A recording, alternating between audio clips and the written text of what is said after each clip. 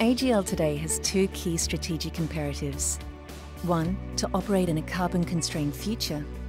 And two, to build advocacy and become a more customer centric business as we seek to harness insights and enrich our customers' energy experience.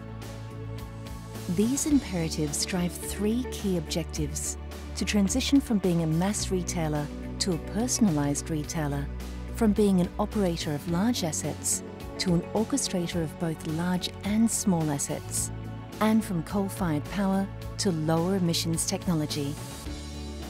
These objectives are driving AGL's strategy and decision making as we think about multi-decade transition in the energy sector. Some aspects of this transition are certain, and our current business model and asset base have an enduring role to play.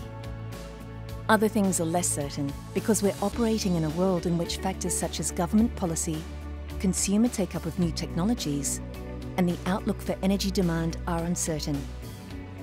That's why we're embedding scenario planning and uncertainty analysis into our strategic planning processes to ensure we're flexible and responsive to change as it unfolds. We've already made a number of key decisions that demonstrate our commitment to delivering our strategic imperatives. These decisions include investing in renewable energy and digital transformation and setting a timeframe for the closure of our coal-fired power stations. And one thing we know is that the AGL business today is in robust shape, benefiting from a competitive advantage built upon our strong asset base and diverse customer portfolio. This puts us in a great position to invest in the competitive advantage of tomorrow, knowing we have the best possible foundation from which to address change. Supporting us through this change is our strong financial position and disciplined approach to managing capital. This is a key AGL advantage today, and it will remain a key AGL advantage into the future. That's why we've initiated steps to ensure we're as financially ready as we can be, committing to at least $1 billion of asset sales, to capital expenditure efficiencies, and to $170 million of operating expenditure reductions. And as we think about how to allocate capital for growth, we're making choices that will help us manage risk and provide value to shareholders as we go. For example, we've made several technology-led investments that can help us serve customers better. These include Sunverge, the software that is enabling our development of the world's largest virtual power plant in South Australia, and now Energy Impact Partners.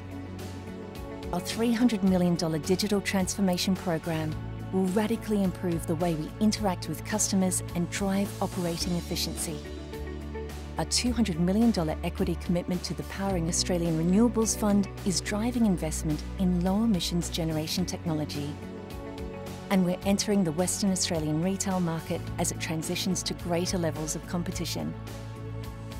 As we assess these and other growth opportunities, we have demonstrated that we'll return more funds to shareholders where appropriate.